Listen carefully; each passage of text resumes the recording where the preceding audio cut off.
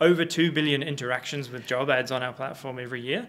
We see about half a billion applications. And then our search engine, our AI powered search engine, is handling thousands of requests mm-hmm. every second. So we see a lot of data on job activity and preferences across Asia. That's right. Yeah, fantastic statistics there. And uh, how is Gen AI transforming some of this uh, data into sort of uh, actionable, usable sort of uh, intelligence for the for your users and also, I guess, for the your clients as well? How do you see that transforming some of your services that you provide to you know externally?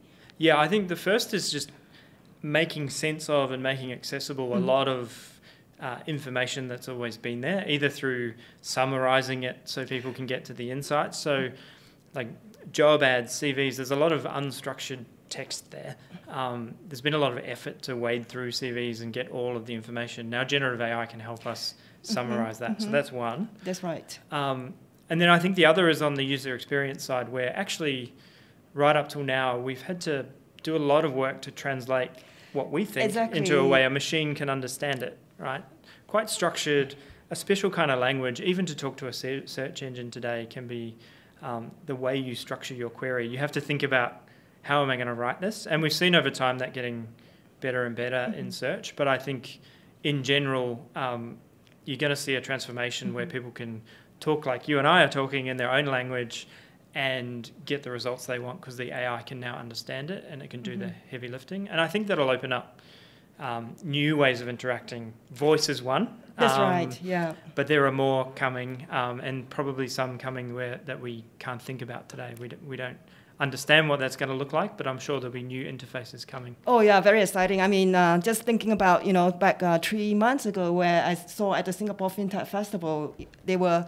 Uh, uh, uh celebrating this uh, AI, generative AI capability of um, creating a profile of myself talking in a different language. But you know, fast forward three months later, that is nothing new anymore. But back three months ago, it was like wow, you know.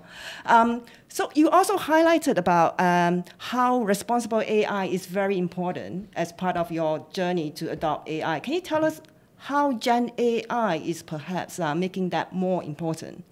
Internally in terms yeah. of your internal policies and frameworks? So I think anytime you're using technology to automate something, you need to be careful that um, you're understanding the data that you're training on and you're mm. understanding the risks in that data. And unfortunately, um, we humans are full of conscious and unconscious bias, and so we need to be thoughtful about um, both how we're using that data and making sure we're not entrenching bad decisions, um, but also knowing that AI is essentially a prediction, and that means it will be wrong mm-hmm. some of the time. And so mm-hmm. knowing when it's wrong, how you're using the AI and what the impact of being wrong to any one individual is, and are you okay with that? And mm-hmm. so for us, that means you know using AI to help people, but never to not show you a job or not let you apply to a job or not show your application to a hirer. That's a step mm-hmm. too far for us in how we use AI because if the AI is wrong, we then lock someone out of an employment yeah. opportunity.